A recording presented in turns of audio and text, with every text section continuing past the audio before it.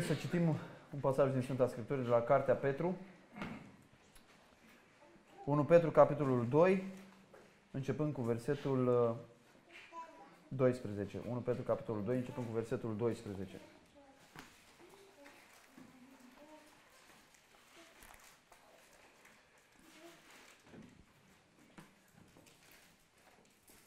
Fii supuși oricărei stăpâniri omenești pentru Domnul, atât împăratului ca înalt stăpânitor, cât și dregătorilor ca unii care sunt trimiși de el să pedepsească pe făcătorii de rele și să laude pe cei ce fac bine. Căci voia lui Dumnezeu este ca făcând ce este bine, să astupați gura oamenilor neștiutori și proști. Purtați-vă ca niște oameni slobozi, fără să faceți din slobozenia aceasta o haina răutății, ci ca niște robe lui Dumnezeu. Cinstiți pe toți oamenii, iubiți pe frați, temeți-vă de Dumnezeu, dați cinste împăratului. Slugilor fiți supuse stăpânilor voștri cu toată frica, nu numai celor ce sunt buni și blânzi, ci și celor greu de mulțumit. Căci este un lucru plăcut dacă cineva pentru cugetul lui față de Dumnezeu suferă întristare și suferă pe nedrept. În adevăr, ce fală este să suferiți cu răbdare, să fiți pălmuiți când ați făcut răul. Dar dacă suferiți cu răbdare când ați făcut ce este bine, lucrul acesta este plăcut lui Dumnezeu. Și la aceasta ați fost chemați. Fiindcă și Hristos a suferit pentru voi și v-a lăsat o pildă ca să călcați pe urmele Lui. El n-a făcut păcat și în gura Lui nu s-a găsit vicleșug. Când era bajocorit, nu răspundea cu bajocuri și când era chinuit, nu amenința, ci se supunea dreptului judecător. El a purtat păcatele noastre în trupul său pe lemn, pentru ca noi, fiind morți față de păcate, să trăim pentru neprihănire, prin rănile Lui ați fost vindecați. Căci erați ca niște oi rătăcite, dar acum v-ați întors la păstorul și episcopul sufletelor voastre. Amin. Amin. Sunt unii oameni care spun că cuvântul lui Dumnezeu uneori nu împlinește nevoile ascultătorilor. Uh, într-adevăr, uh, cuvântul lui Dumnezeu nu împlinește toate nevoile imaginate de noi sau nu atinge lucrurile acelea pe care noi le definim ca fiind nevoi, ci cuvântul lui Dumnezeu răspunde nevoilor pe care Dumnezeu le consideră nevoi adevărate. Același lucru putem să-l spunem într-o altă formă când vorbim despre relevanța Sfintei Scripturi. Unii oameni zic că anumite porțiuni din Sfânta Scriptură uh, nu sunt relevante. Și întrebarea este, nu sunt relevante uh, după ce standard? Cine definește ce e relevant și ce nu e relevant? Și este clar că oamenii folosesc un criteriu subiectiv atunci când spun lucrul ăsta e relevant, din Biblie lucrul ăsta e irrelevant. E bun, dar e irrelevant. Uh, iarăși, Dumnezeu este acela care definește ce este relevant și ce nu este relevant.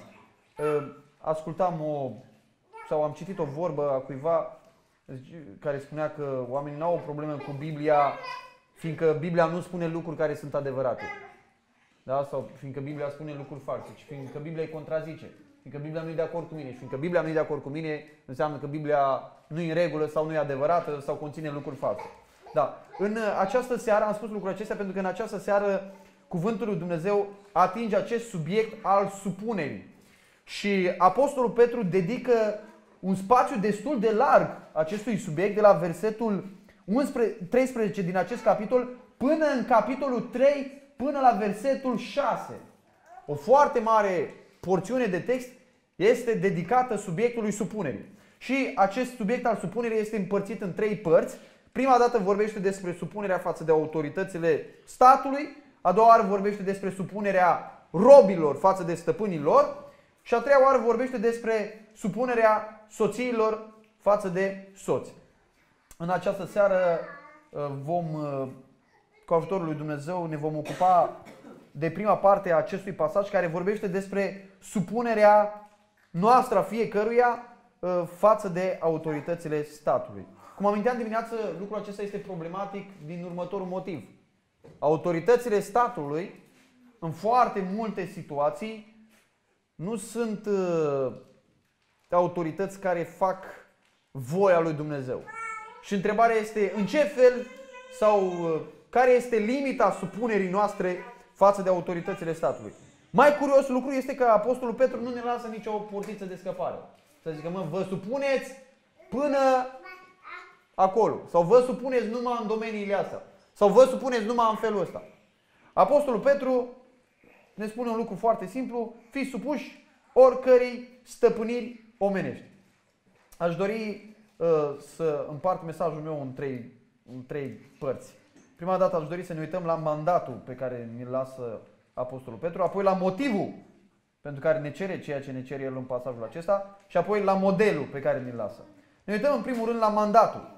La mandatul pe care ne lasă, el spune aici, fiți supuși oricărei stăpâniri omenești. Aș dori să încep prin a vă spune ce nu înseamnă porunca asta. Porunca asta nu înseamnă că ar trebui să adaptăm credința după legile statului. Fiți supuși oricărei stăpâniri omenești nu înseamnă că eu trebuie să-mi adaptez credința după legile statului. De exemplu, să vă dau un exemplu foarte practic din altă zonă a lumii acestea, dar foarte aproape de noi. Dacă statul spune că uh, generația noastră are obsese cu sexualitatea, deci este obsedată pur și simplu. Și toate, uh, multe din legile care sunt foarte discutate acum au de-a face cu această robie a generației noastre față de postele sexuale. Da? Și legile statului încep să uh, favorizeze, să dea anumite privilegii pentru anumite deviații sexuale. Și întrebarea este cum reacționează biserica la lucrul acesta. Biserica are voie să predice ceva ce statul legiferează? Sau nu? Mai mult decât atât, dacă statul spune că ăia sunt, sau cuplurile respective, sau uh, comportamentele respective sunt perfect normale, uh, biserica are voie să, uh, dacă statul le uh, privilegiază sau dacă statul le propovădește sau dacă statul le permite, biserica are voie să le pedepsească? Biserica are voie să propovăduiască împotriva lor? Și la un moment dat, vedeți, există o coliziune între perspectiva statului și perspectiva adunării.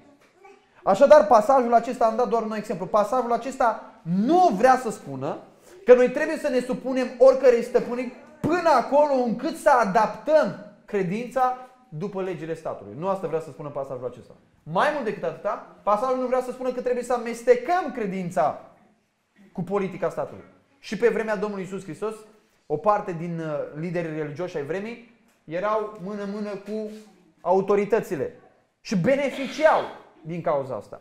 La venirea reformei, la fel, uh, exista o cuplare foarte serioasă între biserică și stat până acolo încât biserica avea mai mare putere decât uh, principii și domnitorii care existau acolo uh, pe teritoriu. Bineînțeles, când s-a rupt uh, la reforma protestantă, s-a rupt biserica, biserică cu ghilimelele de rigoare și cu foarte multe note de subsol uh, și explicații, da, ce biserică era aia.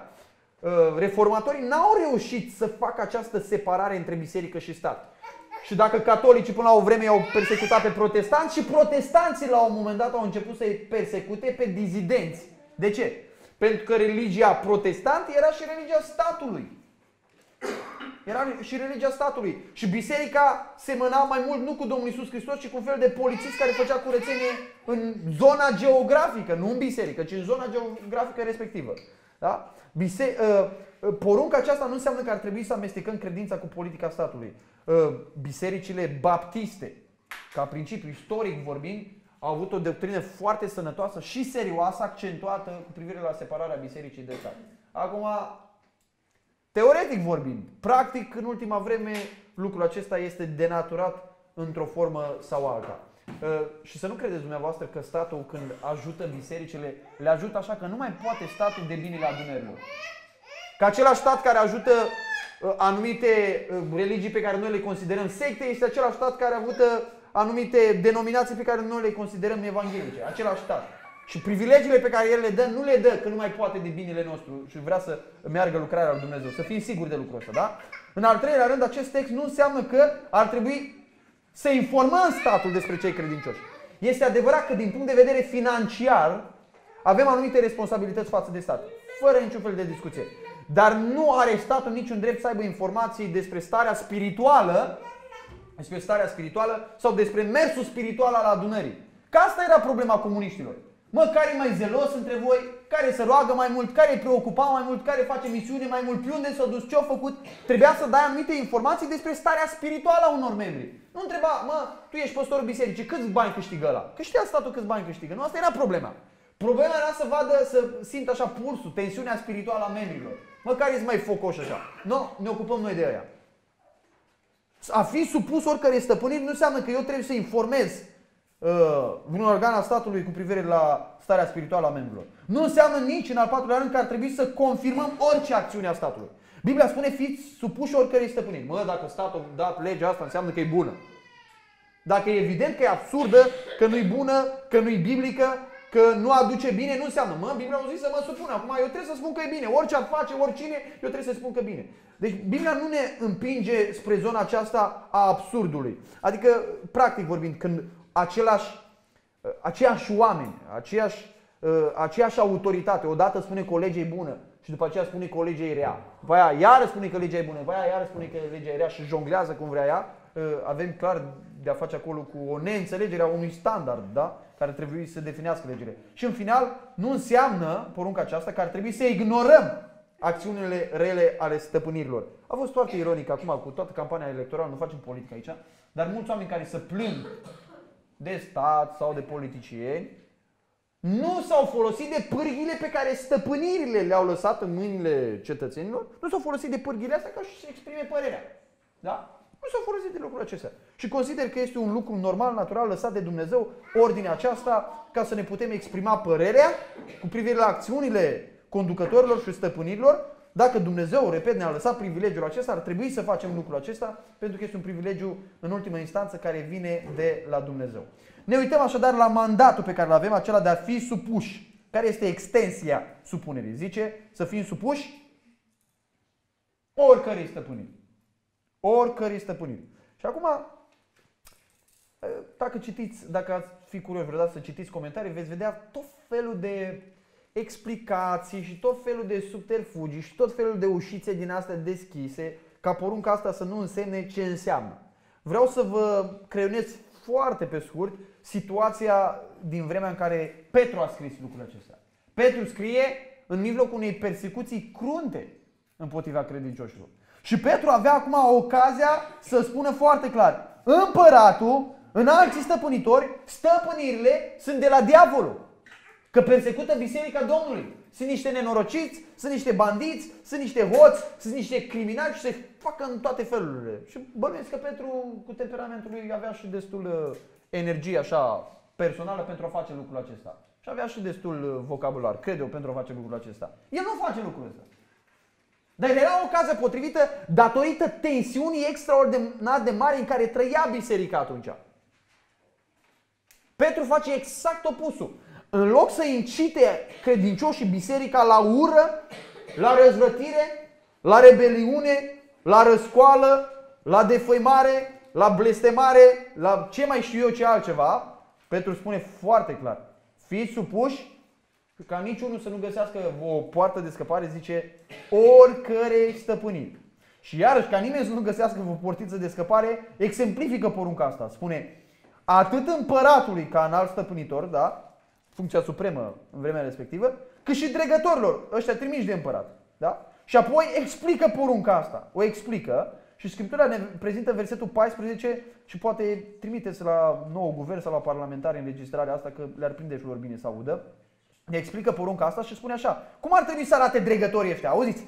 Ca unii care sunt trimiși de el, ascultați, ca unii care sunt trimiși de el, să pedepsească pe făcătorii de rele și să laude pe cei ce fac bine. Așadar, rolul dregătorilor, rolul guvernului, parlamentarilor, președinției și alte autorități mai sunt în stat, rolul lor este unul moral, de promovare a moralității, nu a mântuirii, foarte important. Mântuirea este predicată și promovată de biserică, nu de stat. De biserică, nu de stat. Dacă ați fi curios să citiți pe reformatori, mie mi-e foarte drag Calvin, de asta i-am pus și unul din fiii mei, i-am pus numele ăsta, dar în punctul ăsta, da, el sperăm, adică sperăm, dar așa am nădejdea asta că e în împărăția lui Dumnezeu și că o primit toate explicațiile cu privire la erorile și prostiile pe care le-a făcut în viața aceasta și una cred că a fost aceasta Deci explicații așa foarte pompoase și foarte alambicate așa cu privire la faptul că biserica trebuie să fie una cu statul și că de fapt biserica și statul cam fac aceeași treabă și biserica e cu sabia în mână, ba de fapt statul e cu sabia în mână, dar la porunca bisericii, de fapt statul e sluga bisericii, așa niște explicații pe acolo. Auziți, Biblia spune foarte clar. Scopul acestor autorități este să pedepsească și să laude, nu să predice Evanghelia. Statul nu face treaba bisericii. Statul nu face treaba bisericii. Acum, dacă știrea e adevărată, că și așa s-a dovedit că a fi adevărată, că Putin ar fi oprit prozelitismul și nu mai știu ce, biserica ortodoxă, biserica de stat, aia e biserica adevărată, restul nu au voie să facă nici evangelizare, nici misiune, nici altceva. Asta este o încălcare a principiului lui Dumnezeu. Că nu-i treaba statului să spună cine predică Evanghelia și cine nu are voie să predice Evanghelia. Treaba statului, auziți care este? Să pedețească și să laude. Asta are de-a face cu moralitatea. Auziți, făcătorii de rele și pe cei ce fac bine. Treaba bisericii să predice Evanghelia Domnului Isus, să arate sfințenia în lume, să fie o lumină. Treaba statului este să promoveze moralitatea. Când e o problemă? O problemă este când statul devine imoral. Când statul dă legi care sunt imorale, atunci este o problemă. Sau când statul devine amoral. Un fel de agnosticism amoral. Adică, domne, mă, noi nu vă spunem nimic la niciunul. Nu știm noi care e treaba. Definiți voi fiecare cum vreți voi moralitate. Mă, dacă tu simți, dacă tu ești bărbat în toată firea și, luați-mi expresia, dezbrăcat în fața oglinzii, îți dai seama că ești bărbat, dar tu te simți fată și vrei să intri în baia fetelor, intră. Nu, pentru mine mi se pare la propriu aberant și absurd ce au ajuns să discute mari politicieni Americii. Eu întreb, băi, ăștia normal la cap, astea sunt probleme, astea sunt probleme. Marile probleme ale Americii, care sunt? Domnule, că unul se simte fată. Ce să facem cu ăsta care se simte fată, domnule? Asta e, asta, e, asta e dovada unei minți îmbolnăvite, unei minți rătăcite. Ce problemă au oamenii? Că unul se simte fată. Ce să facem cu ăsta care se simte fată? Are voie să intre care baie să intre? Îi facem o baie specială. Trimite-vă afară. Ce, ce facem cu el? Deci uh, lucrurile pot deveni aberante când statul este fie imoral, fie amoral. De ce? Că statul este lăsat de Dumnezeu sau autoritățile sunt lăsate de Dumnezeu să pedețească și să laude, să încurajeze și să îndepărteze sau să oprească. Da? Asta e treaba statului. Stăvilirea răului și stimularea binelui. Asta este treaba statului. Și uh, lucrurile acestea trebuie trebuie testate în felul acesta. Așa un, îți dai seama dacă o autoritate funcționează în voia lui Dumnezeu. Vă citesc Romani, capitolul 13, Romani, capitolul 13, unde Apostol Pavel explică mai pe larg uh, situația asta. Versetul 1. Oricine să fie supus stăpânirilor celor mai înalte. Căci, auziți, căci nu este stăpânire care să nu vină de la Dumnezeu. Uh, un mare teolog, sau ce-o fi fost el, mare din perspectiva unora, Uh, spunea că a scris un articol cu titlul Dumnezeu nu este în control. Adică ce tot îl băgați pe Dumnezeu în toate treburile astea ale voastre? Dumnezeu ne cheamă la mântuire, Dumnezeu ne-a trimis să predicăm Evanghelia, Dumnezeu e ocupat de sufletul nostru. Nu are el treabă cu lucrurile astea de pe pământul ăsta. Asta, e, asta ne facem noi cu mâna noastră. Auziți ce spune în Biblia? Nu este stăpânire ca să nu vină de la Dumnezeu. Domne, dacă au ajuns acolo, înseamnă că au ajuns acolo ca așa au vrut Dumnezeu. Asta nu înseamnă că tot ce face stăpânirea e după voia lui Dumnezeu și că Dumnezeu încurajează tot ce face stăpânirea. Dar dacă o ajuns acolo, o ajuns numai prin voia lui Dumnezeu. Și spune și stăpânirile care sunt, repet, vremea în care Apostolul Pavel scrie nu este o vreme ușoară pentru credincioși. El însuși a suferit datorită autorităților. Da? Și stăpânirile care sunt au fost rânduite de Dumnezeu. De aceea cine se împotrivește stăpânirii, se împotrivește rânduielii puse de Dumnezeu. Și cei ce se împotrivesc își vor lua o sânda. Cât de clar spune Pavel lucrul acesta? Dregătorii au zis, nu sunt de temut pentru o faptă bună. Vă întreb, au fost vreodată dregătorii de temut pentru fapte, fapte bune? Ne-am, sau tem, ne-am temut noi vreodată sau să tem credincioșii uh, când dregătorii au făcut fapte bune? Nu. Zice ce sunt pentru un area. Vrei dar să nu-ți fie frică de stăpânire? Fă binele și vei avea laudă de la ea. Am făcut uh, la un moment dat o poză la o mașină de poliție și am pus-o pe internet și am întrebat care e primul gând care îți vine în minte când vezi uh, uh, o mașină de poliție. E vorba despre o autoritate. Un fel de autoritate din statul ăsta. Dacă, spune dacă atunci când vezi poliția, primul lucru te gândești ce ai făcut rău, înseamnă că ești român. Da? Că instinctual, mă, a, așa conducem, așa mergem pe șosea că călcăm regulile. Dacă l-ai văzut, sigur îți aduce aminte câteva reguli pe care le-ai călcat în ultimele 5-10 minute, da? Și ce, dregători, de ce te temi? Dregătorii nu sunt de temut pentru o faptă rea. Pentru o faptă bună, ci pentru una rea. Mă scuzați, pentru una rea. El este, auzit, slujitorul lui Dumnezeu pentru binele tău. Dacă faci răul, și aici intră în ceea ce a spus Petru, dacă faci răul, temete, că nu degeaba poartă sabia. Apoi, cu sabia știți că nu îl bătea cu sabia la spinare, nu-i făcea masaj cu sabia. Știți ce făcea cu sabia? Ce făceau ei cu sabia? Și în vremea respectivă se folosea abundent în Imperiul Roman sabia. Repet, nu-i tăia câte puțin, îi tăia. Așa, el este slujba lui Dumnezeu ca să-l răzbune și să pedepsească pe cel ce face rău. De aceea trebuie să fii supuși nu numai de frica pedepsei, ci și din îndemnul cugetului. Tot a, pentru aceasta să plătiți și birurile, căci dregătorii sunt niște slujitori al lui Dumnezeu, făcând necurmat tocmai slujba aceasta. Dați tuturor ce sunteți datori să dați Cui datorați birul, dați birul, cui datorați vama, dați vama, cui datorați frica, dați frica, cui datorați cinstea, dați cinstea. Și revenim la pasajul nostru, versetul 14, să pedepsească și să laude. Și cred că în locul acesta Scriptura ne arată nu doar rolul dregătorilor, autorităților, ci și felul în care ei stăpânesc. Prin pedeapsă și prin laudă. Adică el are voie că e lăsat de Dumnezeu, dacă cuiva nu-i place exprimarea, atunci ia o pasă, să poarte sabia. El e slujitorul lui Dumnezeu care lucrează cu sabia. Poate ar fi aici o explicație în romanii cu privire la pedeapsa capitală care se aplica în vremea respectivă și care cred eu că în multe cazuri astăzi ar trebui să fie aplicată. E o discuție totuși largă. După ce reprezintă mandatul acesta de a ne supune și ne explică care este rolul dregătorilor, autorităților și felul în care lucrează ei și felul în care lucrează ei, Versetul 15 ne prezintă motivul pentru care noi ar trebui să ne supunem. De ce să ne supunem? În Romanii se dă mai multe explicații. Ne arată că e pentru binele nostru, că ei stăvilesc rău. Vedeți dumneavoastră când mă prinde pe mine poliția și mi-a permisul pentru că am mers cu viteză sau am depășit linia, convin, uh, linia continuă, nu-mi convine. Dar dacă prinde pe un zăpăcit din ăsta, care odată într-unul sau în altul sau care nu știe ce înseamnă semnul de trecere de pietoni sau liniile acelea care arată trecerea de pietoni și ia permisul, te întreb. Dacă ar, dacă ar circula unul din ăsta prin fața casei tale și tu ai copilaș și bă, nu poți să lași copilașul la poartă că poate de... Te-ai bucurat dacă chiar lua permisul sau dacă l-ar, l-ar opri? Te-ai bucurat nu că vrei să te bucuri de răul lui, dar te bucuri că e oprit, că e stăvilit un rău social, e un rău pentru toată lumea. E mai ușor să gândești când e vorba despre alții. Dar la fel aș putea să fac și eu dacă conduc ăla. Dau exemplul ăsta că e uh, mult mai apropiat decât noi. Ăsta este rolul lor. Ăsta este rolul lor. Versetul 15 ne arată motivul pentru care trebuie să ne supunem. Spune că nu doar că ne fac bine în ultimă instanță, sau ar trebui să ne facă bine, repet, dacă nu sunt imorali sau amorali, nu știu ce e moralitatea, motivul este acesta, căci voia lui Dumnezeu este. Cu alte cuvinte, motivul pentru care eu mă supun autorităților este că Dumnezeu îmi cere lucrul acesta. Este că Dumnezeu îmi cere lucrul acesta. Relația mea cu Dumnezeu mă împinge spre lucrul acesta. Acum, care era situația? De ce Petru pune așa de mult accent? Și Pavel. Care era situația în vremea respectivă? În vremea respectivă situația era în felul următor. Erau stăpâni și erau sclavi. Și apostolii nu vin să desfințeze ordinea asta socială.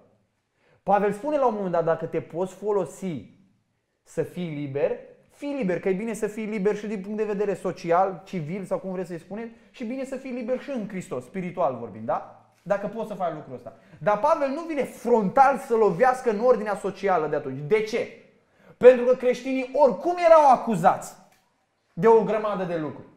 Și unul dintre lucrurile de care erau acuzați erau de răzvrătire împotriva ordinii sociale, împotriva autorităților. Din două motive spuneau asta.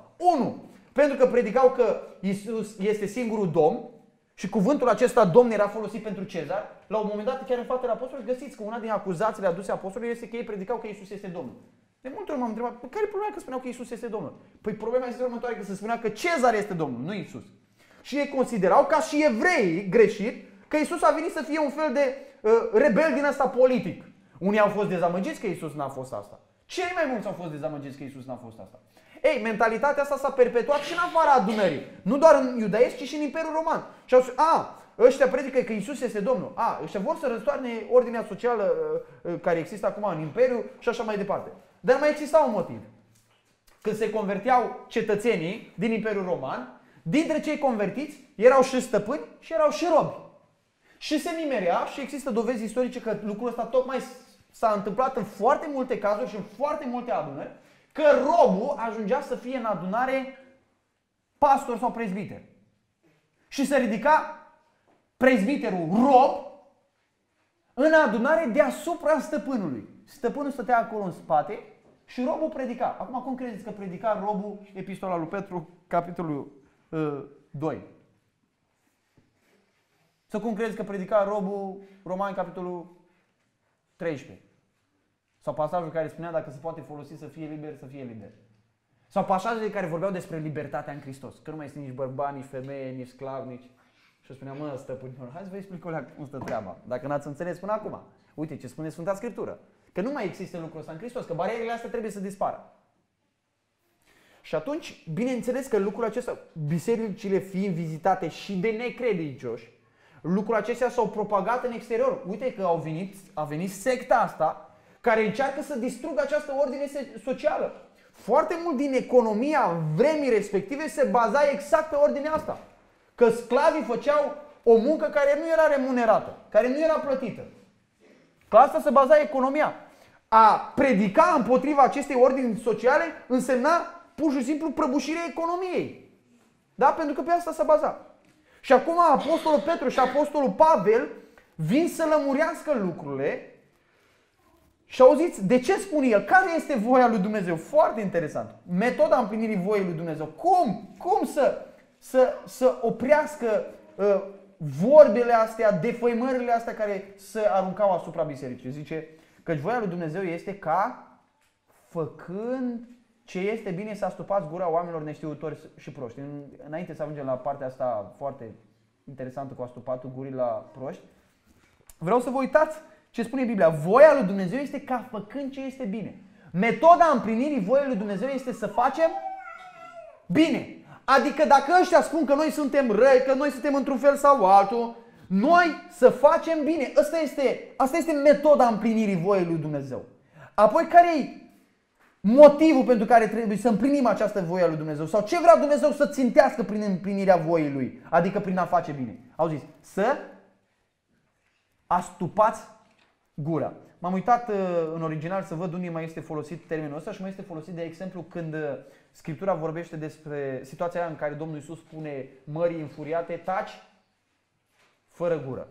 Și spune, e foarte important, noi avem misiunea ca biserică de a stupa gura neștiutorilor și proștilor. Avem misiunea asta de la Dumnezeu. Zice, voia lui Dumnezeu este ca făcând ce este bine să astupă în gură. Asta e voia lui Dumnezeu. Voia lui Dumnezeu este ca proștii să să tacă. Asta e voia lui Dumnezeu, ca proștii să tacă. Sau oamenii neștiutori să tacă. Da? Să tacă, cum spune Domnul Iisus Hristos, mării înfuriate să tacă fără gură. Mai se folosi termenul când spune Apostol Pavel, nu lega gura boului când treieră. Da? E o legație, nu poate să ia nimic. Da? Să fie astupată, spune aici, să astupați gura, să astupați gura. Dar este foarte interesant. Cum, cum, cum, cum ar putea să definim un om prost? Aici spune să astupăm gura oamenilor neștiutori și proști. Care sunt oamenii proști? Păi omul prost este definit în locul acesta. Omul prost e neștiutor, dar dacă ar tăcea, zice, bă, nu știu, nu mă bag. Dar e prost. De ce e prost? Pentru că nu știe și totuși vorbește, de asta spune să ia stup gura. Bă, nu știe, dar bate din gură. Asta e omul prost. Dacă n-ai ști, bă, nu știi, cum spune cartea Proverbe, și prostul, dacă ar tăcea, ar trece drept înțelept. Nu spune nici om înțelept, mă. Știe când să tacă. Da? E, da, dacă prostul învață să tacă, deja își pierde foarte mult din prostie. Deja aproape nu mai poți considera prost dacă învăța să tacă. Înseamnă că și-o dat seama de limitele lui, începe să gândească la lucrul acesta și se oprește pentru că nu știe, nu se bagă. Acum, într-adevăr, Facebook-ul este o unealtă foarte bună de a observa uh, Oamenii neștiutori și proști. Oamenii neștiutori și proști, da? Scriptura spune că avem misiunea asta ca biserică să le astupăm gura, dar e foarte interesant. Omul prost nu este lămurit cu argumente. Sunteți convins de lucrul ăsta? Pune-te cu un prost la masă și începe să argumentezi. Este, nu știu dacă e proverb sau zical sau ce fi asta, nu te lua în gură cu prost, că te coboară la nivelul lui și te bate, că tu oricum nu te pricepi. El e pe terenul lui acolo, el asta face de când să știe. Tu ești în altă sferă, da? Te-ai coborât acolo jos la el, el se pricepe și îți dă o bătaie, ești de acolo ciufulit. Ce spune Biblia? Cum astupăm gura oamenilor neștiutori și proști? Strigând la ei, lămurindu-i, argumentând. Mă, sta să vă spunem, cum a fost pe vremea lui Petru și a lui Pavel, da? Sta să vă spunem, noi de fapt nu vrem să răsturnăm nicio ordine socială. Noi de fapt nu. Pavel spune nu. Că voia lui Dumnezeu este ca, ascultați metoda, făcând, nu vorbind ce este bine, făcând ce este bine, să astupați gura oamenilor neștiutori și proști. Adică prostul nu înțelege mental dacă explici lucrurile. Mă, stai să spun, de ce doctrina Harului nu duce la păcat? Nu, noi știm că de când e lumea, doctrina Harului duc la păcat. Nu, ce ar fi mai degrabă, fac o paralelă, ce ar fi mai degrabă dacă noi ăștia care predicăm doctrina Harului să trăim arătând că avem Har? Ăsta va fi cel mai bun argument. Nu să explici oricât ai explica, omul spune același lucru. Ce folosi să spun eu, o, oh, doctrina Harului nu duce la păcat, fiindcă Harul nu doar te iartă de păcat, ci te eliberează de păcat, dacă în rest se vede că pe mine Harul nu m-a eliberat de păcat. Da? Ajung să contrazic exact ceea ce propovăduiesc.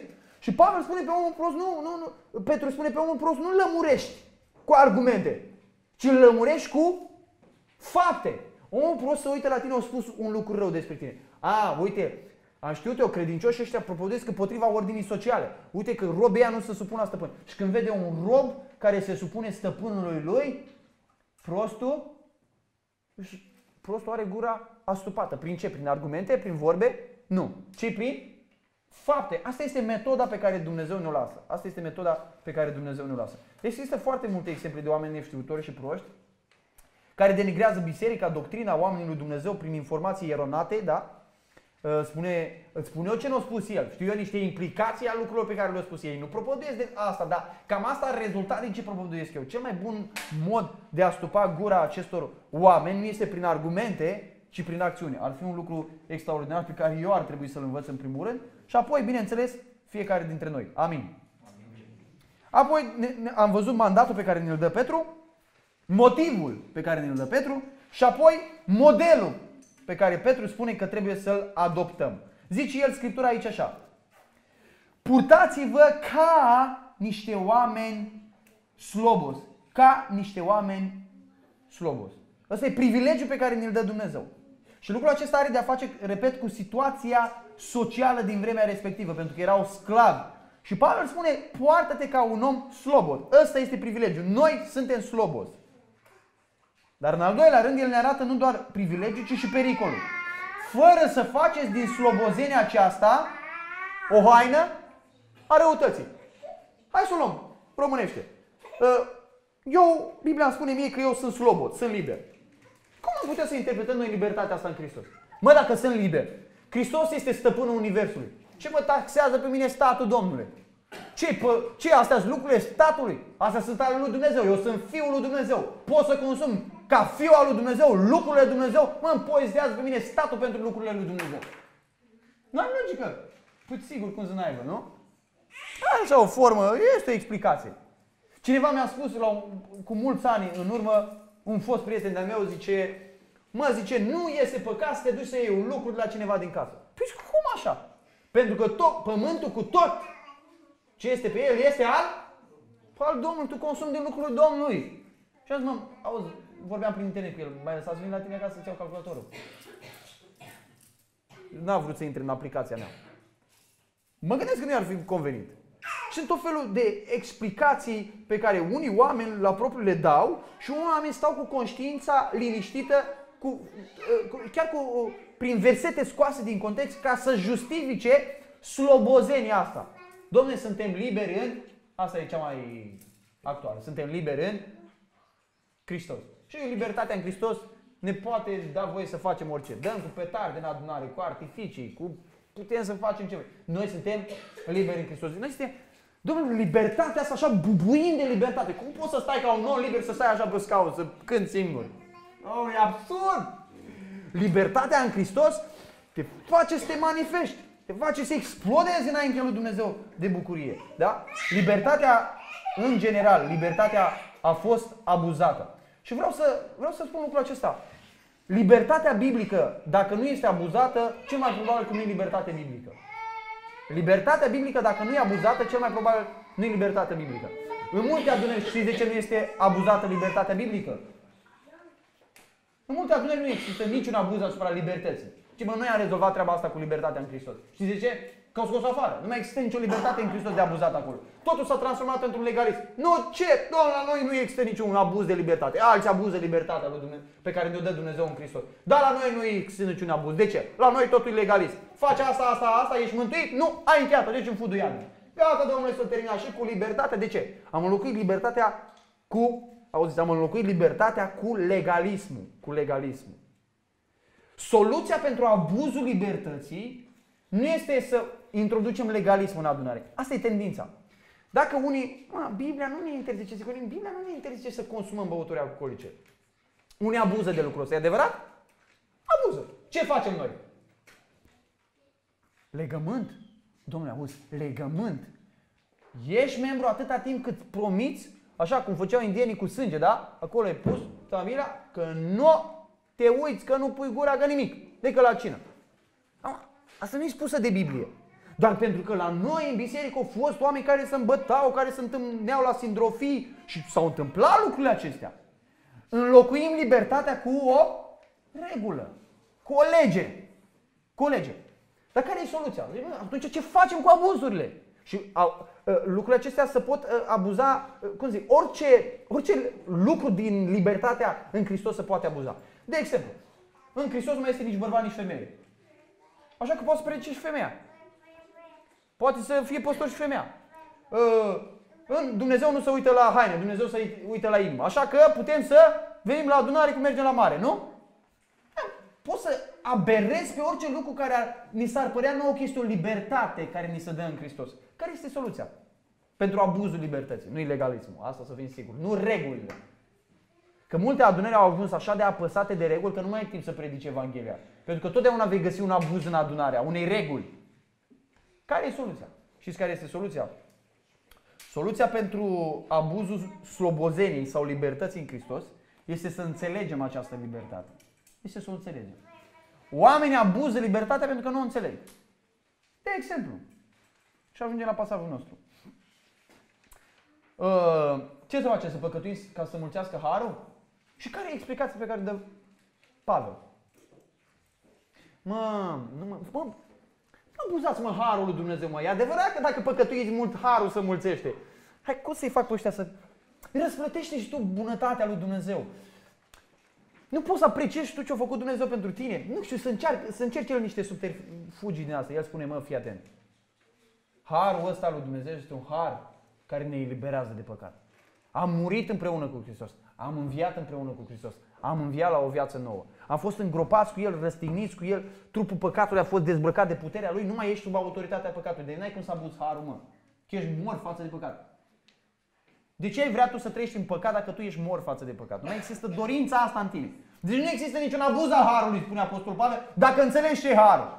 Că harul lui Dumnezeu Uh, uh, spune uh, Pavel lui Tit, harul lui Dumnezeu care aduce mântuire pentru toți oamenii ne învață să o rupem cu păgânătatea. Deci harul nu are cum să te ducă la păcat, că te învață exact opusul. Să o rup cu păgânătatea. Același lucru este cu libertatea sau cu slobozeania. Mă, tu care ești rob la stăpânul ăsta, ești liber în Hristos, dar nu ești liber în Hristos să te răzvătești față de El, ci ești rob pentru prima dată în viața ta să te supui de bună voie, voluntar. Să ai o inimă supusă, numai să te supuși de nevoie, că oricum îți dă o mamă de bătaie de nu te vezi dacă nu asculți. Nu, pentru prima dată când te întorci la Dumnezeu, inima ta este schimbată, este modelată, inima ta este umplută de prezența lui Dumnezeu și pentru prima dată stăpânului nu-i vine să creadă ochii că vede un rob care se supune de bunăvoie, cu bucurie. Asta este slobozenia. Slobozenia este să fac ceva ce n-am putut să fac înainte. Ceva ce n-am putut să fac înainte. Sunt rob de bunăvoie. Asta este slobozenia la care îi cheamă Apostolul Pavel. Spune, fără să faceți din slobozenia aceasta o haină a răutății. Lucrul acesta mai este repetat de Pavel în Galateni 5 cu 13, unde spune, fraților, voi ați fost chemați la slobozenie. Numai nu faceți din slobozenie o pricină ca să trăiți pentru firea pământească. Ci, auziți la ce să fim liberi. Ci slujiți-vă unii altora în dragoste. Dacă înainte n-ai putut să iubești, acum poți să iubești în Hristos. Adi- cu alte cuvinte, principiul este acesta. Libertatea în Hristos, înțeleasă corect, înseamnă asta. Libertatea în Hristos nu, mă, nu este o libertate spre păcat, ci este o libertate spre sfințenie. Nu este o libertate spre nepăsare, spre indolență, spre lene, ci este o, este o libertate să facem ceea ce înainte să ne întoarcem la Dumnezeu n-am putut să facem. Ce n-am putut să facem înainte să ne întoarcem la Dumnezeu? Să ne supunem lui Dumnezeu, să-L iubim pe Dumnezeu, să ne iubim nevestele, să iubim pe oamenii din jurul nostru, să ne supunem autorităților, să cinstim pe toți oamenii, să iubim pe față. Lucrurile astea n-am putut să le facem. Dar acum suntem liberi. Ne-a eliberat Hristos din păcat și suntem liberi să le facem. De aceea spune el, fără să faceți din slobozenia aceasta o haină a răutății, o haină a răutății, și auziți, Pavel mai spune în 1 Corinteni 8 cu 9, luați seama însă ca nu cumva această slobozenia voastră să ajungă o piatră de potignire pentru cei slabi. Adică sunt atât de slobod încât pot să-mi să uh, rețin anumite lucruri, să nu fac anumite lucruri din dragoste pentru fratele meu. Uite ce liber sunt. Fii atent ce liber sunt. Să nu fac anumite lucruri care îmi plac, dar care ar putea să-l ispitească pe fratele meu, să fie o piatră de potignire pentru fratele meu. În Iuda, Iuda ne avertizează, în versetul 4, că s-au strecurat printre voi unii oameni scriși de mult pentru o sândă aceasta. Oamenii evlavioși care schimbă în desfrânare harul Dumnezeului nostru. Dar care foloseau harul ca o acoperitoare, ca o haină pentru răutate. Da? Petru ne arată privilegiul. Noi suntem oameni slobozi, ne arată pericolul că am putea transforma slobozenia asta, dacă nu o înțelegem corect, într-o haină a răutății, a păcatului. Și în final, Petru ne arată poziția în care ne găsim noi acum. Poziția în care ne găsim și care ne ajută, care ne ajută să trăim și noi modelul acesta a oamenilor slobozi. Și spune el aici, ci ca niște robi ai lui Dumnezeu. E foarte interesant. Spune ca niște oameni slobozi și apoi spune ca niște robi ai lui Dumnezeu. Până la urmă, suntem slobozi sau nu? În același verset spune că suntem oameni slobozi și pe aia spune că suntem robi ai lui Dumnezeu. Și acum aș vrea să închei cu un cuvânt despre libertate. Despre libertatea voinței oameni, oamenilor, despre libertatea oamenilor, despre libertatea oamenilor. Pentru mine pasajul acesta este, îmi arată foarte clar și este lămuritor pentru următorul aspect. Niciodată nu suntem cu adevărat liberi. Acest pasaj ne arată un paradox în care trăim. Suntem oameni slobozi, dar în același timp suntem robe lui Dumnezeu. Citiți dumneavoastră acasă Romani capitolul 6, uh, cam ultima parte, unde Apostolul Pavel arată. Odată am fost rob păcatului, când am ieșit din sub robia păcatului, am intrat automat sub robia neprihănirii, sub robia lui Dumnezeu. Dacă odată mădularele noastre, trupul nostru a fost rob păcatului, când am ieșit de sub robia păcatului, am intrat cu mădularele noastre, cu trupul nostru, cu întreaga noastră personalitate, sub robia lui Dumnezeu. Principiul. Niciodată nu suntem cu adevărat liberi. Total liberi. Absolut liberi. Nu există. Pentru ființa umană nu există libertate absolută. Adică să fie liber și de sfințenie, și de Dumnezeu, și de diavolul, și de lume, și de biserică, și de păcat, și de pofte, și de plăcere. O, o libertate din asta totală. Este o nebunie, este un om bolnav. Numai un om nebun ar putea să fie liber. Adică să nu mai aibă niciun fel de dorință, niciun fel de presiune asupra... Nu există așa ceva. Nu există libertate absolută. Și ca să vă tulbur puțin, nici Dumnezeu nu este liber în orice sens.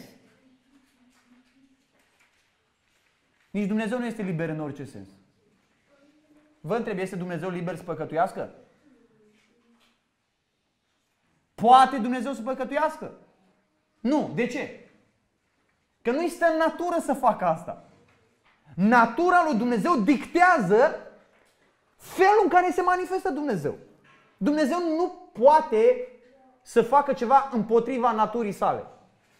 De asta au întrebat oamenii din multe ori întrebări absurde. Poate Dumnezeu să păcătuiască? Păi în ce sens? Depinde în ce sens te referi lucrul acesta. Dumnezeu nu este liber în orice sens. Dumnezeu nu poate să facă ceva contrar lui însuși. Exact cum eu nu pot să zbor. De ce? Că nu e natura mea să zbor. Eu, în esența ființei mele, nu sunt făcut de Dumnezeu, nu sunt creat de Dumnezeu ca să fac lucrul acesta. Acum, Scriptura ne arată foarte clar și este foarte important. Uh, că oamenii nu sunt liberi nici înainte să se pocăiască, nici după ce s-au pocăit. Nu sunt liberi în orice sens, în sensul de libertate aceasta absolută. De exemplu, fiți atent. Oamenii înainte să se întoarcă la Dumnezeu, oamenii înainte să se întoarcă la Dumnezeu, vorbesc ca și cum ar fi liberi. Se uită la noi așa, cu un fel de părere de lău, cu un fel de milă din asta. Se uită la noi. Nu? Bă, săraci de ei. Mai au și pocăiți care vorbesc, bă, când eram eu necredincios, fii atent ce făceam, mă duceam, povestește cu atâta entuziasm și când îl pui să vorbească despre Domnul Hristos, despre viața cu Hristos, a, frate, dar e, hmm, e cam complicat, e mai greu, e, da, viața cu... Da, să merită, să merită că până la urmă ajungem noi acasă la Domnul și, bă, să merită, să merită. Da, da, ne întoarcem la poveștile din trecut. Acolo e bucuria lui, acolo e plăcerea lui, acolo e problemă în viața acestui om.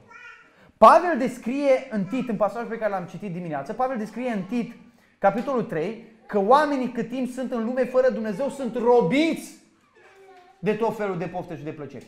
Îi place lui robia asta? Da, tocmai asta e problema. Că e rob și și place că e rob, da? Că e în întuneric și și iubește întunericul.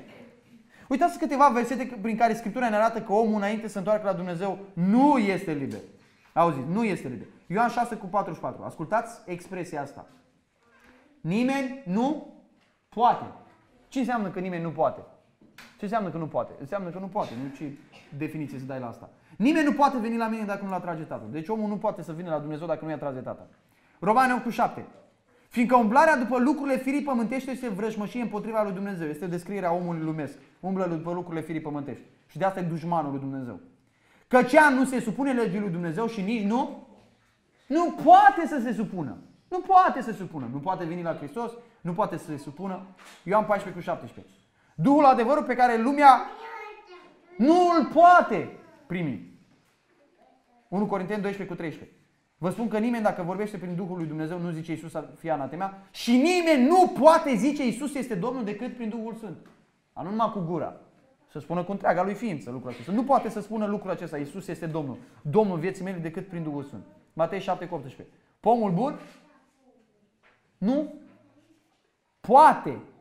Nu poate face roade rele. Nici pomul rău nu poate face roade bune. De asta e absurd să iei un om lumesc neconvertit în care Evanghelia nu și-a făcut lucrarea de plină și s-a pus să trăiască ca un pocăit. Este absurd. Pentru că el nu poate, cel chinui. El trebuie să fie născut din nou. El are nevoie să, să fie schimbat dintr-un pom rău, să fie făcut un pom bun. 1 Corinteni 12 cu 14. Dar omul firesc nu primește lucrurile Duhului lui Dumnezeu, căci pentru el sunt o nebunie și nici nu le poate înțelege. De asta are nevoie de o lumină despre care vorbește Apostolul Pavel în 2 Corinteni. Când vorbește despre Evanghelie în 2 Corinteni, capitolul 4, aceeași uh, aceiași, uh, aceiași destinatari.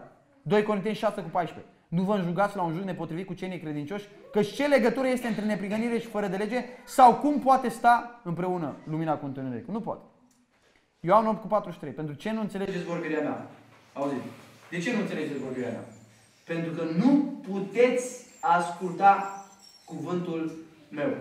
Marcu 10 cu 27, când Domnul vorbește despre mântuire, Iisus a uitat țintă la ei, a zis, lucrul acesta este cu neputință la oameni, dar nu la Dumnezeu.